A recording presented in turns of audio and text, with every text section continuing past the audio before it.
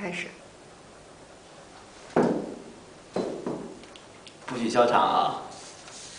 嗯，大家好，我叫丛杰，然后今天呃，我其实是在呃阿迪达斯的网站上看到了有这个挑战你的奥运梦想这个活动，然后呢，我看到有三个奥运梦想可以来实现，但是我却选了柔道。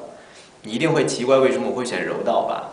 嗯，呃，而且我选的是这位，这是我们。柔道七十八公斤级的世锦赛、亚运会，还有包括一系列的大大小小比赛的冠军童儿，很值得骄傲哈。不过你肯定会想，你小子肯定是装蒜，为什么要选一个柔道这个项目呢？你肯定也不曾柔过吧？哎，还真不是。今天我就给你讲讲我跟柔道的渊源。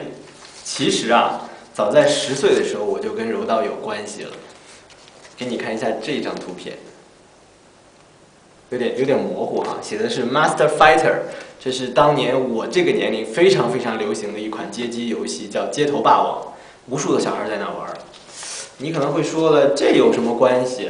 别着急，我再给你看一张。看到这个人了吧？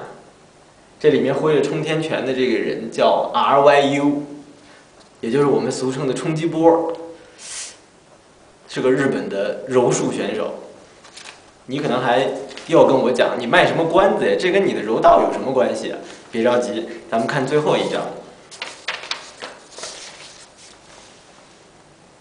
这一张就是 RYU 先生进行柔术比赛的一个场馆，可以看到这里还写着“风林火山”。实际上，这款游戏设计设计的当时就是在柔道这款运动正式被确定为柔道这个名称之前，其实它是叫柔术。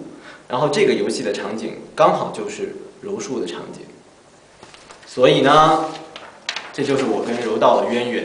所以这次我参加了呃挑战你的奥运梦想这个活动，然后感谢 CCTV，感谢 MTV，感谢阿迪达斯给我这个机会可以圆这个奥运梦，然后希望大家多多给我投票。